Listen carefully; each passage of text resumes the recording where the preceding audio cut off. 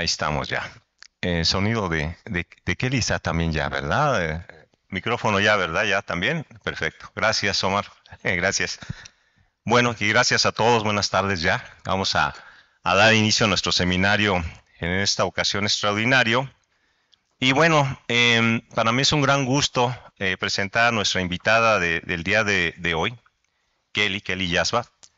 Eh, un poco porque eh, déjenme darles un poco el antecedente de, pues de esta colaboración o este contacto que, tuve con Kelly. Hace un par de, meses más o menos, eh, Kelly me contactó a través de mi correo, como muchos de esos correos que nos llegan de pronto, que uno ya no sabe si contestar, porque estaba interesada en el tema de, bioplásticos, cosas biomateriales, y dije, bueno, eh, vamos a ver, ella me propuso que nos reuniéramos para platicar sobre estos temas, sobre todo porque ella me adelantó que tienen una red de colaboración o participa dentro de una red de colaboración artistas e investigadores en Canadá, sobre todo enfocado pues, al tema de contaminación de los grandes lagos. Entonces, eso pues de alguna forma a mí me dio mucha confianza, me motivó, vinieron aquí al instituto junto con Zoe, que también nos acompaña el día de hoy, Y bueno, dijimos vamos hacia, hacia adelante. Y entonces le invité para que eh, diera un seminario sobre lo que ella hace en, en su áreas, que son el, arte eh, eh, y, ligado a estos temas de contaminación ambiental. Kelly Yazba es una artista canadiense y profesora asociada de, estudios de arte en la Universidad de Concordia en Montreal. También es miembro fundador o miembro fundadora de, un equipo de investigación sobre la contaminación plástica llamado The Synthetic Collective, que incluye científicos, artistas y humanistas. Su obra de arte se ha exhibido internacionalmente, incluso en el Museo de Arte Moderno Nueva York, el Museo de Arte Contemporáneo en Montreal y el Castillo de Ujazdowski en Varsovia. Espero haber pronunciado bien. Su, trabajo ha sido eh, reseñado en lugares como National Geographic, Art Forum y The New Yorker y su investigación sobre arte y ciencia en coautoría se ha publicado en revistas científicas como Nature Reviews, eh, eh, eh, GSA Today y Science of the Total Environment. Em, espero que, derivado de esta colaboración, y es algo que hemos platicado con Kelly, la próxima pieza que muestre en estos museos sea algo hecho con PHB, que es el material con el que trabajamos. Y entonces justo precisamente va a pasar unos días tratando de eh, generar algunas ideas respecto a esto. Kelly, muchas gracias por, por estar aquí y adelante. Muchas gracias.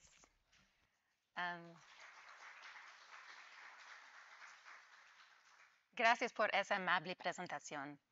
Ah, y muchas gracias por su encantadora presencia, en especial al profesor Carlos Felipe Peña Malacara, por invitarme a colaborar con su laboratorio en el Instituto de Biotecnología y a la Rosa Elía y Claudia Aguirre Zapata por trabajar conmigo en el laboratorio. Es un verdadero honor estar invitada aquí hoy. Y también es la primera vez que doy una charla en español. Ah, así que gracias de antemano por tu, su paciencia. Van a necesitar, necesitar un poco de paciencia, creo. Ah, les, voy a, les voy a contar un poco acerca de mi propio trabajo artístico, sobre todo de cómo varios artistas, historiadores del arte y científicos empezamos a trabajar juntos y a publicar artículos científicos, realizamos exposiciones de arte y formamos un grupo de colaboración. Nos llamamos The Synthetic Collective y hoy describiré el tipo de trabajo que hacemos. ¿Pueden entenderme? Ok, súper. Ah, y también un saludo a la miembro doctora Lorena Ríos Mendoza, cuya alma mater es la UNAM. Tenemos nuestra sede en la región de los Grandes Lagos de Canadá, donde yo crecí. Es una zona que alberga el 21% del agua dulce del mundo, por lo que es un recurso importantísimo para el futuro del planeta pero también uno muy amenazada por la contaminación. Estando en México y con los problemas que tienen de agua aquí, me parece aún más descuidado lo que pasa en Canadá. Y voy a hablar de eso ah, un poco más tarde. Y como sugiere el título de la charla, nuestro trabajo es muy interdisciplinar. Cuando se trata de movilizar de manera eficaz la investigación centrada en el medio ambiente, creo que muchos investigadores se han dado cuenta que esta conversación debe incluir otras disciplinas. Es imposible ver la complejidad del problema y mucho menos prever estrategias de mejora desde una sola disciplina. Mientras más conozco investigadores, más me doy cuenta de que esto ya está ocurriendo incluso aquí en el Instituto de Biotecnología, ¿no? Yo puedo verlo un poco ya. entonces, ¿qué ocurre cuando ampliamos aún más esas conversaciones interdisciplinares entre disciplinas que parecen más alejadas, como el arte y la ciencia? No creo que sea muy habitual ver el nombre de un artista en un artículo científico, ni el de un científico en una exposición de museo. Eh, pero, creo que este tipo de conversación, intercambio y metodología de investigación aporta beneficios realmente importantes. He aquí algunos ejemplos de publicaciones realizadas por el Synthetic Collective que han incluido a científicos y artistas en la totalidad del proyecto de investigación. Hablaré más de estos documentos un poco más adelante hoy. Pero antes de voy a hacer un breve recorrido por algunas de mis obras para ilustrar cómo los intereses y métodos de investigación de disciplinas aparentemente distantes tienen muchas cosas en común. El impacto del consumismo y el medio ambiente es desde hace tiempo uno de mis intereses artísticos y como artista no quiero limitarme a ilustrarlo, sino bien plantear preguntas sobre, sobre cómo hemos llegado a donde estamos y analizar todas las paradojas y complejidades que forman parte de estos sistemas de producción, consumo y destrucción. Intento hacerlo con honestidad, afrontando la realidad de la violencia lo mejor que puedo y siendo consciente de mi propio papel de cómplice en ella. Pero también intento trabajar estas cuestiones con el sentido de esperanza, optimismo, humor, amor e intimidad. Es decir, todas las cosas por las que merece la pena luchar en el mundo roto. Así que empezaré la historia de mi arte en 2008, cuando acababa de terminar mis estudios de posgrado en Studio Art y gané mi primer encargo público. Para el concurso, propuse convertir un coche económico usado, un Pontiac Sunfire, de 1998 en un material publicitario que estoy segura que todos los aquí presentes han visto alguna vez. Vinilo adhesivo, impreso para rótulos. Eh, se utiliza habitualmente en las ciudades para convertir cualquier tipo de espacio en un anuncio. Por ejemplo, puede usarse en un autobús, un edificio, una estación de metro, etc. Elegí este tipo de coche porque me pareció que tenía más potencial de clase. Era un coche económico, pero tenía una forma parecida a la de un Porsche. Y estos son los resultados. Todos los que parecen un Porsche es de hecho una imagen, una que diseñé en Photoshop, o bien una foto que tomé de un Porsche real y que imprimí en el vinilo adhesivo como una imagen bidimensional. Esto que ven aquí no es una cubierta de real, es la imagen impresa de una. Es, plano. Ah, y aquí se puede ver realmente el relieve del coche más económico por debajo y la fachada del plástico ah, del coche por encima. También cubrí el interior y para mí, aquí es donde el proyecto empezó a ponerse realmente interesante, porque el material no estaba diseñado para hacer esto. Empezó a burbujear, a arrugarse y a revelar su materialidad en lugar de únicamente mostrar la imagen impresa en la material. Lo sentí como un momento interesante en el que de repente cae el telón mágico de la ilusión y entonces podemos ver lo que ocultaba. Mientras se cubría el coche, ocurrió otra cosa interesante. Aquí hay una toma del proceso que muestra cómo el lateral de la imagen del Porsche era una calcomanía gigante que luego se aplicó al coche.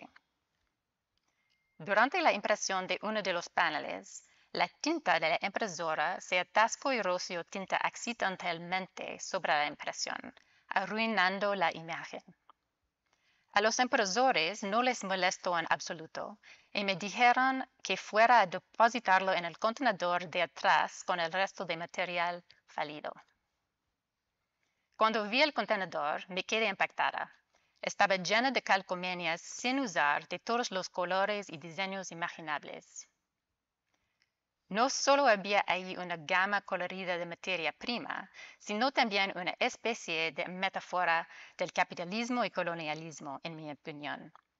Lo relacioné con su capacidad para adueñarse de un lugar o un espacio sin tener que rendir cuentas por las consecuencias de esa apropiación en aras del enriquecimiento del capital privado. Pregunté a los empresores si podía quedarme con su basura y hacer arte con ella. Y por fortuna aceptaron siempre y cuando eliminara de ella cualquier logotipo identificable. Y desde entonces la mayor parte de mis materiales artísticos proceden de ahí. Quiero decir que son plásticos impresos con imágenes recuperados de la basura. He aquí una selección de imágenes de estos materiales en mi estudio. Y aquí hay algunos ejemplos más de mis obras de arte resultantes de anuncios de vinilo recuperados. Solo mostraré imágenes rápidamente ah, para que tengan una mejor idea del trabajo que hago. Aquí un detalle. Y otro detalle. Y esto se hizo a partir de un anuncio de nuevo álbum de Ariana Grande. Ok. Ah, ahora volvamos atrás en el tiempo hasta el 2008, cuando trabajaba con todos esos restos de plástico que obtenía de la industria publicitaria. Mi estudio estaba totalmente lleno de este material y empecé a notar algo. Mi estudio olía mucho a vinilo y cuando ya llevaba trabajando ahí durante un tiempo considerable, ups, ah, ah, durante un tiempo considerable, me empezaba a sentir pacheca. Ah, en serio, y no estuvo divertido. me tomo muy en serio la seguridad Así que ya había leído, las fichas de datos de seguridad de los productos que estaban recuperando, pero en ninguno se mencionaban los vapores ni la necesidad de protección respiratoria. Curiosamente, esas mismas fichas incluyen ahora requisitos de protección respiratoria y ventilación. Este simple detalle me llevó a investigar sobre la toxicidad de los plásticos, la responsabilidad o falta de responsabilidad de la industria en la seguridad de los usuarios y a lo que ocurre con los distintos tipos de plástico cuando se desechan, considerando que hay miles de tipos de plástico. Al mismo tiempo, yo trabajaba como profesora del arte en el Western University en Canadá y vi el cartel de una conferencia del capitán Charles Moore, el hombre de abajo, a, la derecha, activista contra la contaminación por plásticos y oceanógrafo, al que se atribuye la descripción de la isla de la basura. Se trata de los desechos plásticos acumulados en los giros de las corrientes marinas, principalmente en el giro del Pacífico Norte, donde se encuentran estas grandes sopas de residuos plásticos flotando en el océano, de la cual imagino muchos aquí han oído hablar de eso otra. ¿sí? Asista a una de sus pláticas y después busque a la persona de mi universidad que lo había invitado. Esa persona es la geocientífica Patricia Corcoran en la foto de arriba. Después de trabajar con Patricia en algunos proyectos, me, me, dijo lo siguiente sobre la colaboración entre arte y ciencia, que me pareció realmente útil. Cita de Patricia. Tenemos suficiente gente informado que hay plástico. Ya no es una historia nueva. La cosa es, ¿y ahora qué? Y como en la ciencia todo es acerca de documentar, suele detenerse ahí. Por eso creo que también es bueno trabajar con otras disciplinas y con gente como los artistas para retomar ese trabajo y llevarlo adelante. Hay que encontrar la manera de exponer la siguiente parte, el ahora qué y cómo hemos llegado hasta aquí. Ah, entonces, para recapitular un poco, un giro es un gran sistema de corrientes oceánicas giratorias donde diferentes tipos de agua se encuentran entre sí. Y aquí hay otro gráfico de un artículo de Jan Salowitz et al. que muestra la distribución del plástico en la superficie del océano. El rojo está más concentrado. El número corresponde a la concentración en kilómetros cuadrados. y los círculos negros corresponden a cantidades de residuos plásticos mal gestionados, ya sea por filtraciones en vertederos, vertidos industriales, basura en zonas de alta población, etc. Sin embargo, esta tabla no muestra cómo los países gestionan sus desechos plásticos. Por ejemplo, Canadá envía sus desechos plásticos a otros países, especialmente el plástico que es más difícil de reciclar.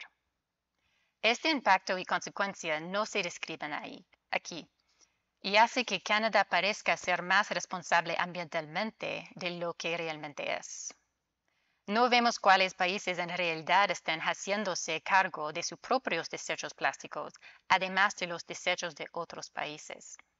Tampoco vemos el impacto del turismo aquí.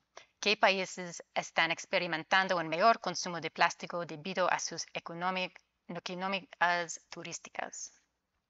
Y otra cosa a considerar cuando miramos esta imagen y consideramos la complejidad de la situación es que no todos los plásticos producidos flotan.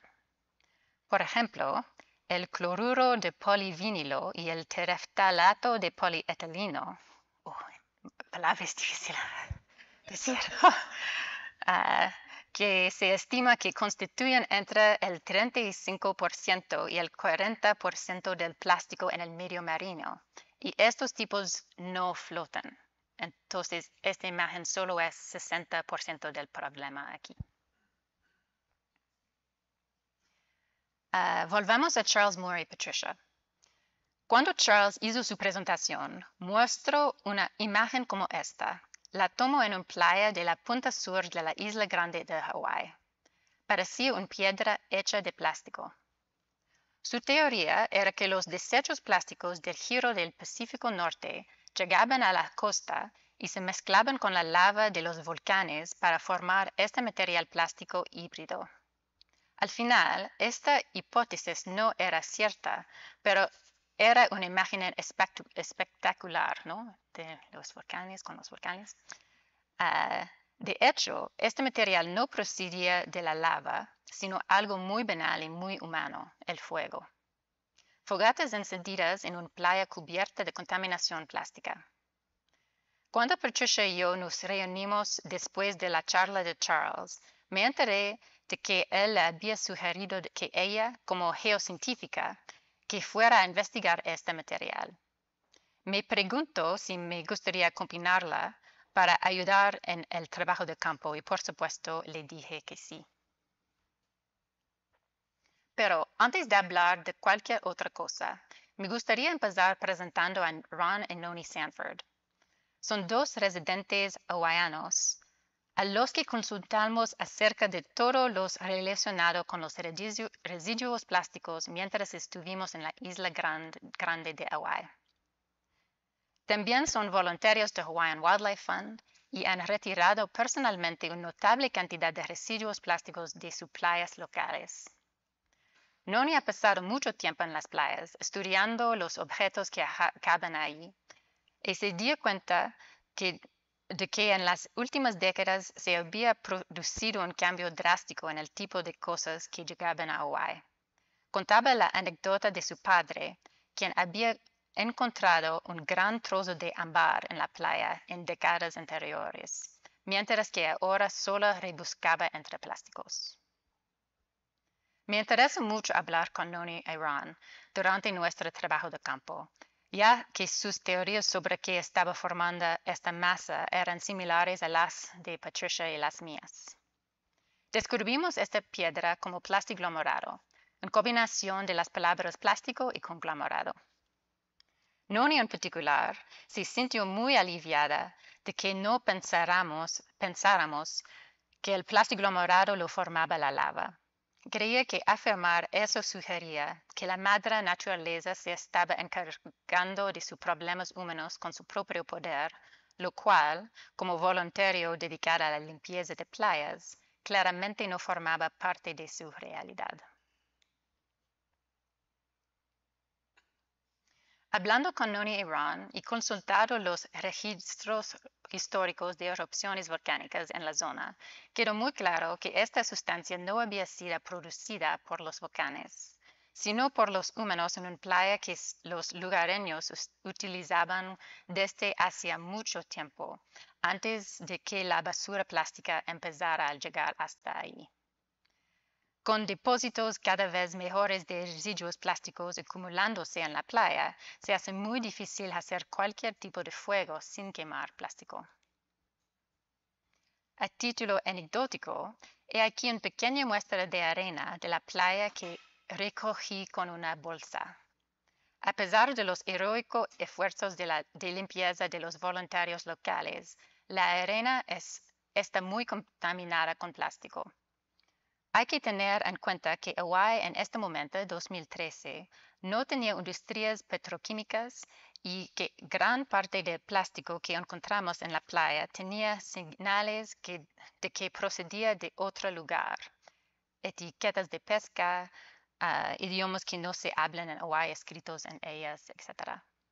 Es probable que gran parte de esta basura ni siquiera se fabrique en Hawaii, pero Hawaii acaba teniendo que lidiar con ella. Cuando quedó claro que los volcanes no estaban implicados en la fabricación de esta piedra, pensamos a un debate verdaderamente interdisciplinar sobre lo que este material podría significar. Hablamos del antropoceno, una palabra que los geólogos han rechazado hace muy poco, pero que se ha incorporado a los medios culturales. Incluso en aquel momento, en el 2013, se habían celebrado muchas exposiciones de arte en todo el mundo utilizando la idea del antropoceno como tema artístico. Como artista, había asumido que los geólogos estaban de acuerdo con la palabra, dado lo extendido de su uso. Pero entonces me di cuenta de que, de hecho, era polémico, y yo diría que también lo es en las disciplinas artísticas, pero, pero por razones muy distintas. Así que en lugar de escribir sobre la lava aniquilando la contaminación plástica, Escribimos un artículo en GSA Today que contaba con un elemento especulativo. Este era que dado a que el plástico morado tiene el potencial de enterrarse, un futuro, futuro geólogo podría tomar una muestra de núcleo y potencialmente ver el plástico que estuviera representando nuestro momento actual en ese registro rocoso de la Tierra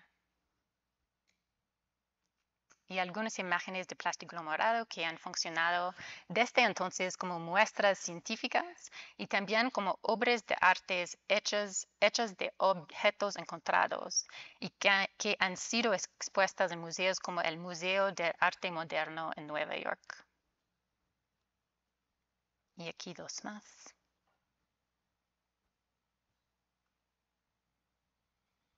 Ese artículo y las imágenes que lo acompañaban se hicieron virales como nunca antes en nuestras carreras.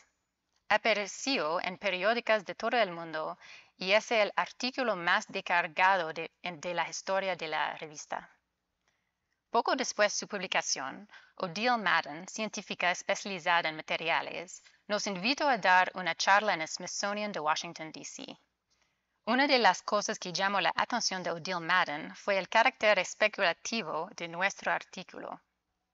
Esa especulación fue el resultado de una conversación interdisciplinar y abierta sobre lo que podía significar el plástico morado. No solo describirlo, sino también mirar hacia el futuro con el él. La ciencia se acerca a algo para verlo mejor, pero también la cultura se aleja para tener una visión más amplia. Y creo que los dos juntos es, una cosa muy interesante. Ah, y estos somos nosotros en el Smithsonian y dimos una charla en una sala donde todas las paredes estaban cubiertas de fotos de hombres blancos. aquí pueden ver. Uh, desde entonces, una de las principales conclusiones que sacamos de aquella experiencia es que, por razones éticas y prácticas, queríamos centrar nuestra investigación en el lugar donde vivíamos, no solo porque vivíamos en una zona con una gran concentración de agua dulce, sino también con una gran concentración de empresas petroquímicas y de fabricación de plásticos. Desde mi punto de vista personal, Noni y Ron ya sabían que la plastiglomerada no no lo fabricaba la lava. No necesitaban que fuéramos nosotros a decírselo. El conocimiento local y la ciencia ciudadana ya lo sabían. Y si la autoridad del conocimiento local es de interés para alguien, tengo un ensayo en mi sitio web llamado Noni Knows sobre este tema que escribí para rendir tributo a los lugareños y el conocimiento que ya tenían sobre su entorno. Así que, a partir de ahí, empezamos a tener muchas más conversaciones entre disciplinas y a conectar con más más investigadores afines a las artes y las ciencias de la región en la que vivíamos. El grupo es un increíble equipo de pensadores y tenemos un requisito importante, la capacidad de controlar el ego y tener la mente abierta para conocer el punto de vista de los demás. Es fascinante trabajar juntos, sentirse como si uno estuviera de nuevo en la escuela aprendiendo sobre otras disciplinas. Siempre tenemos que dedicar más tiempo a explicar nuestras investigaciones a los demás en términos claros para que todos puedan entenderlas y hacerlo sin juzgar a nadie. Siempre me parece un ejercicio muy útil, sobre todo teniendo en cuenta la variedad de públicos con los que intentamos conectar y aprender a comunicar mejor nuestro trabajo sin utilizar ningún tipo de jerga o lenguaje excluyente. Esta foto corresponde a nuestra primera reunión. Nuestro primer tema de conversación fue la búsqueda de puntos clave en el perverso problema de la contaminación por plásticos lugares en los que podríamos centrar los esfuerzos de investigación para maximizar el potencial de cambio positivo. También fue una conversación interesante sobre ética y autoconciencia. Por ejemplo, ser consciente y debatir el impacto potencial que nuestra investigación podría tener en los medios de la vida de las personas, las tierras indígenas y las comunidades. Estas conversaciones son constantes y se entretejen en el trabajo, la colaboración y la planificación que realizamos como colectivo, especialmente desde que empezamos a trabajar con socios con más alcance. Además, como parte importante de nuestro método de trabajo, queríamos que artistas y científicos participaran desde el principio en las fases de planificación para ver qué tipo de preguntas se podían plantear y qué otro tipo de enfoques se podían concebir. Por ejemplo, como colectivo, hemos decidido que no queremos que nuestra investigación sobre el medio ambiente cause más daños medioambientales lo que significa reexaminar todo lo que hacemos, desde trabajar en un laboratorio, un estudio, hasta, organizar una exposición para intentar tomar más decisiones sostenibles y respetuosas con el medio ambiente. Fue tras este fin de semana de reunión y lluvia de áreas que decidimos centrar nuestra atención. ¿Les parecen familiares estos objetos? ¿Alguien aquí? ¿Tal vez? ¿Un poco? ¿Sí? ¿Un poco? si los buscan, son muy fáciles de encontrar en las orillas de los grandes lagos. Son gránulos de plástico, la materia prima del plástico que luego se funde para fabricar nuevos productos de plástico. Y, por desgracia, es muy habitual encontrarlos tirados en los grandes lagos. Decidimos centrarnos más en este tipo de contaminación, ya que es un tipo de contaminación que va directamente de la fábrica al lago. Este tipo de vertido parece muy evitable. Tomamos muestras de gránulos simultáneamente en el cuadrículas de 10 metros cuadrados en 66 playas y a continuación Caracterizamos y describimos visualmente las 12.595 gránulos que recogimos. Ah, realizamos este muestreo simultáneamente en un intervalo de 10 días, por lo que implicó a un gran equipo de estudiantes y miembros del Synthetic Collective. Nos centramos en la línea de, la, de costa de cada playa, es decir, la línea en, que, en la que las olas empujan los residuos en un lugar similar o, a lo largo de la playa. Y aquí uh, podemos ver claramente la línea de la playa, es como aquí. Uh, y también encontramos algo de plastiglomerado durante el trabajo, lo que ahora se ha informado en todo el mundo, no solo en Hawaii. Y tengo un pequeño juego ahora.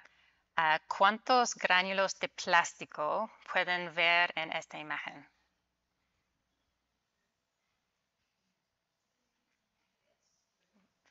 Un poco más.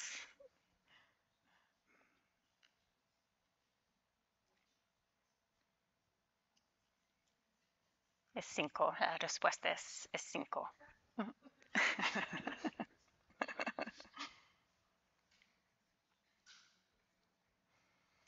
Ah, una vez recolectados los gránulos de cada playa, los enviamos para contar y clasificar. Y a partir de este estudio, publicamos este artículo una investigación exhaustiva de los gránulos de plástico industriales en las playas de los grandes lagos lorencianos y los factores que rigen su distribución. Nuestros hallazgos clave con este estudio son que encontraron correlaciones positivas entre la abundancia de gránulos, la población de la cuenca, el número de industrias plásticas y la proximidad de la desembocadura de un río.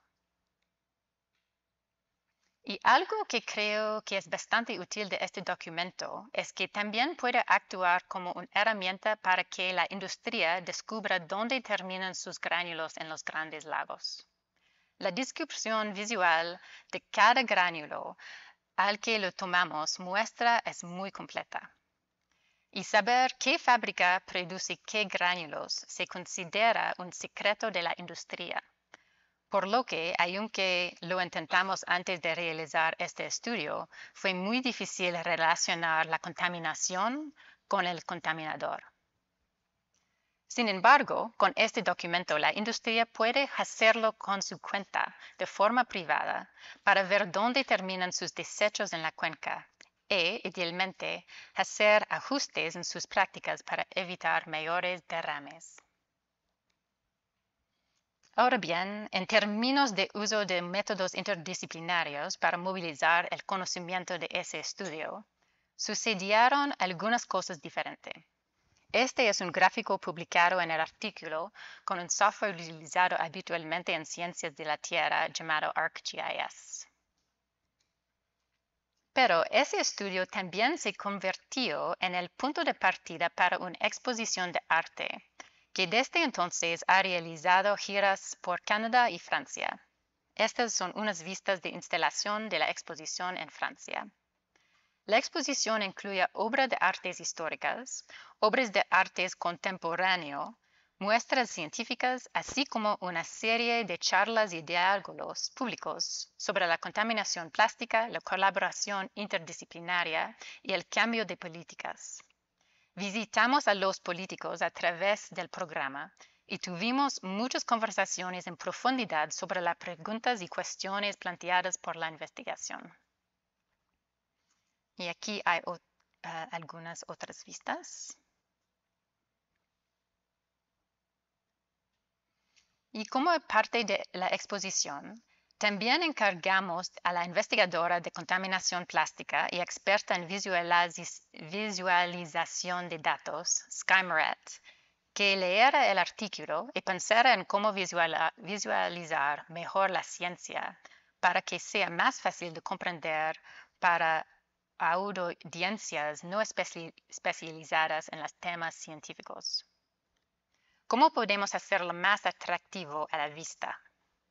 ¿Cómo les podemos provocar más curiosidad? Y como desafío adicional, ¿cómo podemos presentar esa información de una manera ambientalmente sustentable? Y esta fue su respuesta. Trabajando con uno de sus vecinos, Jake Hickson, Sky desarrolló una forma de reciclar los desechos plásticos locales en estas formas cristalinas que representan proporcionalmente la cantidad de gránulos de plástico encontradas. En su análisis del resumen gráfico de nuestro artículo original, la historia de la concentración y cantidad de gránulos no se contó claramente. En su versión se puede ver fácilmente dónde se encontró la mayor concentración de gránulos, y no es coincidencia que aquí también se encuentra la mayor concentración de industrias del plástico en la cuenca de los grandes lagos.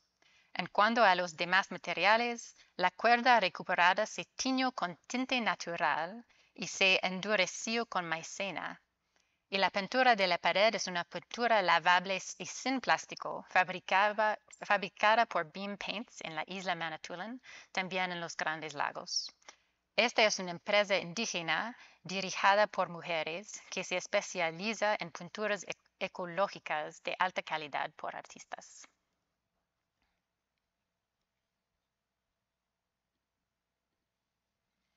Y la leyenda que lo acompaña Ah, que describe los cristales de plástico correspondientes a la cantidad de gránulos.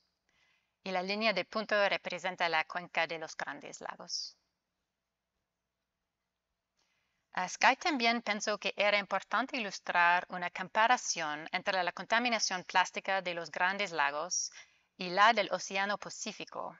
Estudios recientes de Chelsea Rockman en la Universidad de Toronto en 2019 han demostrado que la acumulación de desechos plásticos en las aguas superficiales de los grandes lagos es tan alta ahí como en las manchas de basura oceánicas, con concentraciones de hasta 6.7 millones de partículas por kilómetros cuadrados. Aquí Sky lo ha hecho visible. Después que terminó esa exposición, descubrimos que también queríamos una visualización diferente simplemente de la presencia de todas las industrias de plástico que existen en la región de los Grandes Lagos para contar mejor la historia del potencial daño a este precioso recurso de agua dulce.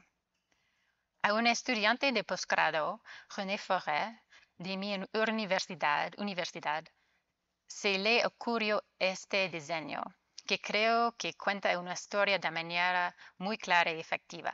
Y cada punto rojo representa una fábrica donde se producen o, manipulan uh, gránulos de plástico.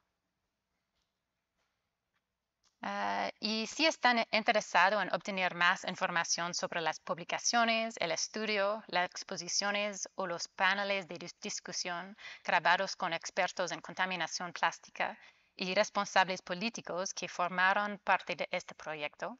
Aquí tienen una página web que ha centralizado toda la programación para obtener más información.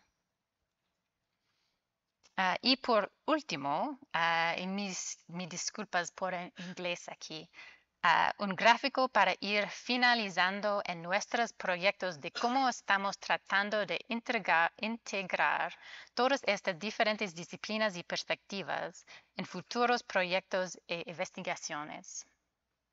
Nuestras intenciones son armonizar los métodos en nuestras disciplinas para convertirnos en mejores ah, versiones de cada una y utilizar esto para investigar y comunicar mejor la complejidad, lo que creemos que, puede conducir a un cambio duradero y significativo.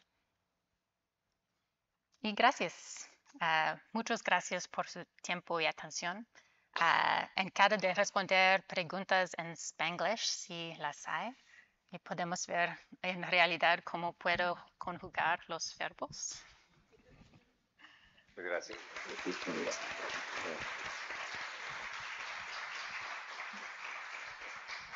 Gracias, Kelly. Muchas gracias por la presentación. Y bueno, tenemos esta oportunidad de preguntas acá, Enrique.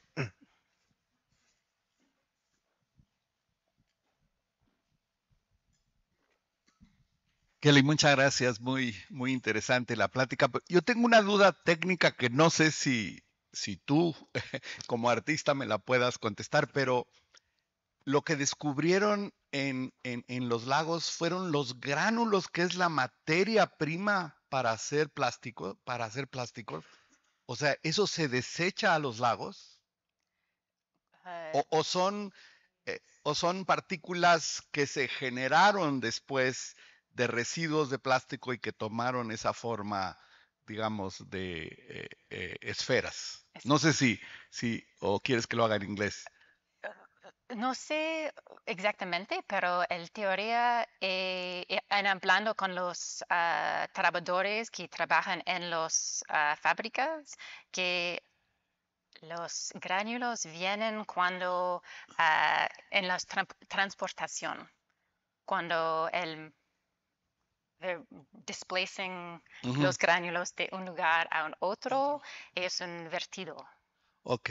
eh, ah, en- into the drain. See, actually, it's the raw material to make the, the plastic, Sí. which is disposed in the in the in the lakes, Yes, sí. which is terrible. Dire- directamente. Y la idea que nosotros necesitamos trabajar am, más para evitar la contaminación cu- cuando las fábricas hacen eso es, es un gran problema. ¿Alguna otra pregunta? Bueno, yo mientras, Ah, igual allá hay una, ¿sí? Sí. Por favor, Clau.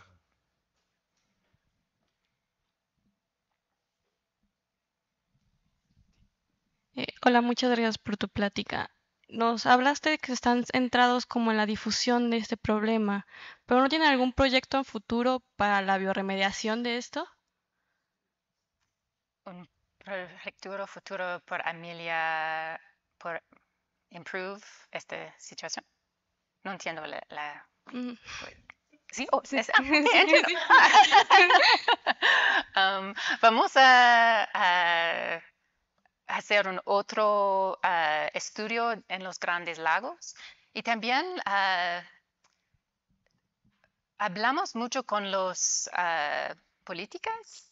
Como para mí, voy a decir eso en inglés por- pues para es más suave. por- para mí, un highlight of my career fue ah, giving a tour to a former Canadian prime minister of the show, uh, of this problem, por hablar de los, uh, cómo podemos cambiar los políticos, policies, um, para uh, dejar este problema. Vamos, vamos a ver, continuamos uh, de hacer los estudios en los grandes lagos. Ok, gracias. Gracias por Kelly, eh, relacionado, porque bueno, finalmente el problema es impresionante, ¿no? Yo no, ni idea tenía de esta magnitud de lo que sucede ahí en esa zona de Grandes Lagos. Nos mostrabas una imagen, ¿no? De todas las empresas que están relacionadas con la generación de estos plásticos y, bárbara, es mayor. Sí, Vamos, ¿qué tanto en Canadá han venido incorporando el tema de biomateriales como los que nosotros trabajamos y los cuales estás interesada?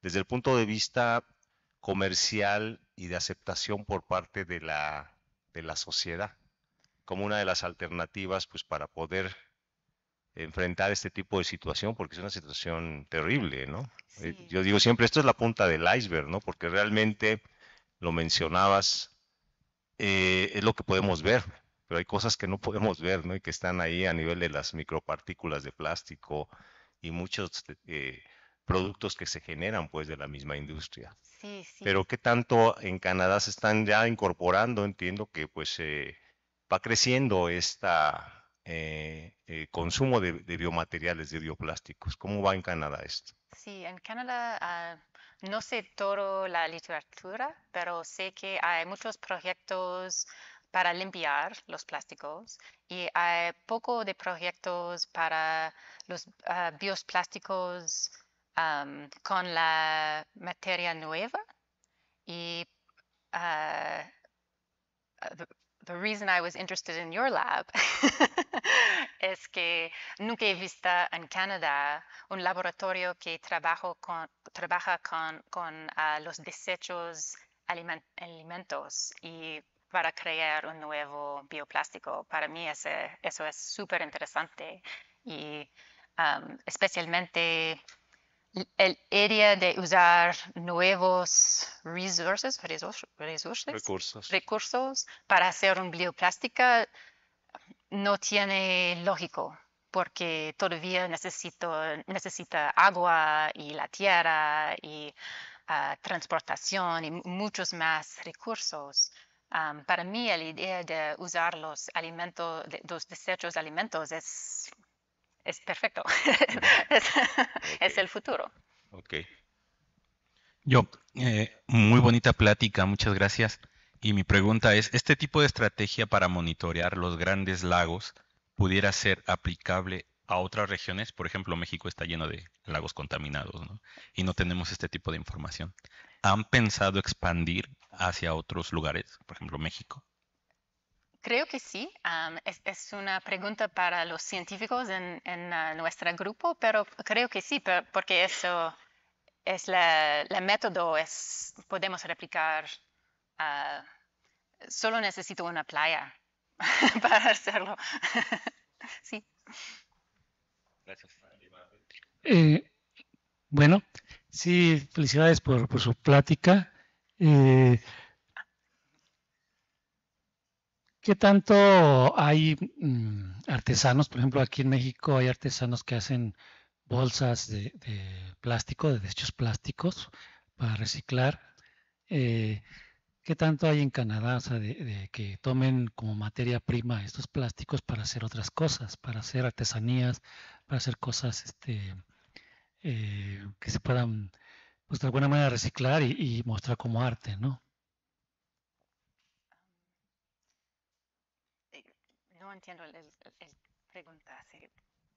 Puede- Are there, are there artisans in Canada or other artists who work with um, plastic residue Ah, sí. you Ah, like? Sí, en- you. perdón, entiendo. sí. Ah, sí, hay mucho. Ah, y aquí también es la Ciudad de México, hay muchos artistas que recuperaban ah, los desechos plásticos y otros materiales. Y ah, esta es una razón eh, por qué ah, yo vine aquí para ver el arte de eh, aquí. Y lo mismo en Canadá, sí, hay, mucho. Gracias.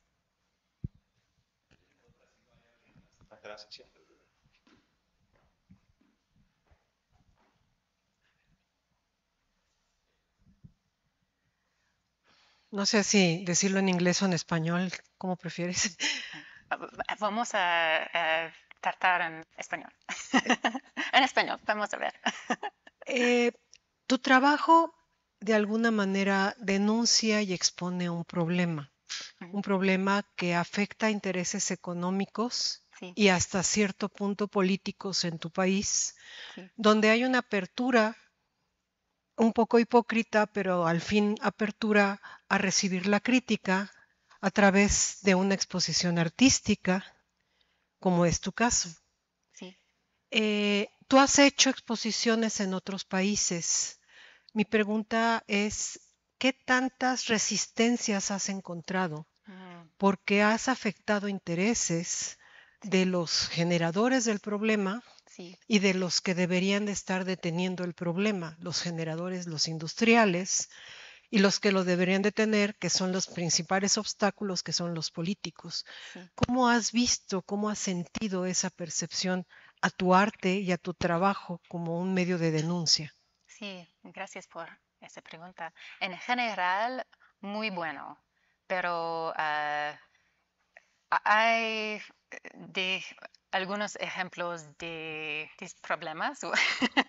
en Francia, uh, algunas industrias no les gustan las exposiciones y en particular un ensayo que una escritor- escritora ah, escri- escribo- escribe, escribió, y el, em- el, ah, algunas fábricas nos uh, they asked us to remove the essay from the exposición porque es ah, demasiado crítica.